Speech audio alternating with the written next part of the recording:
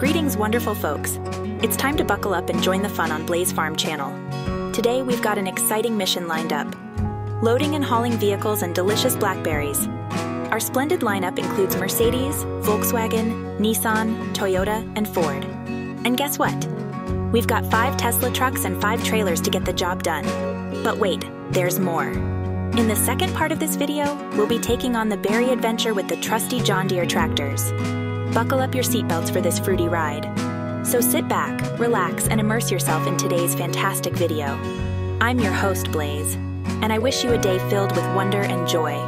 Stay tuned for more farming fun ahead.